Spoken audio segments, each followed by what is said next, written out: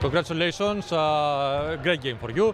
Ε, έλα η Ρόδη να μας βοηθήσει στη μετάβαση. Ε, πώς, πιστεύεις, πώς πιστεύει ότι ήταν ε, το παιχνίδι αυτό, η απόδοσή του και η νίκη γενικότερα στην αναμέτρηση σήμερα. How did you feel about today's game and uh, your win and your, your presence today, 25-10 for you today?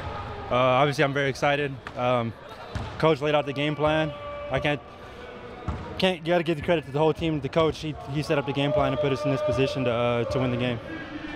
Πολύ ενθουσιασμένος, ο coach έστησε το πλάνο για τον αγώνα, κάναμε το πλάνο, πήραμε το παιχνίδι.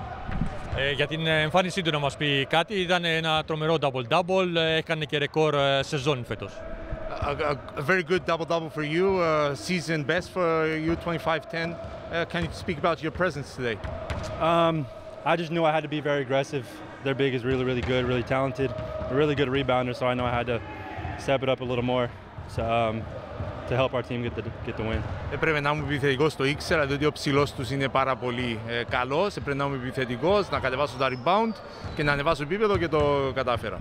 Το, το γεγονός ότι χρεώθηκε με δύο φάουλ νωρίς στο παιχνίδι σήμερα α, και έμεινε για αρκετό χρόνο στον πάγκο. Αυτό πώς το διαχειρίστηκε; Uh, you were early in the game with two fouls and you were stuck on the bench for a big portion. How did you uh, handle that?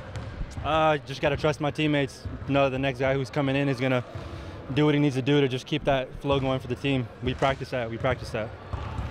Ε, πρέπει να πιστευτώ τους συμπαίχτες μου, να κάνω αυτό που πρέπει η ομάδα, το, να, να πάω μαζί με την ομάδα και να ακολουθήσω και το προπονητή με το κάναμε. Ωραία, τον ευχαριστούμε πολύ. Thank you very much and congratulations again.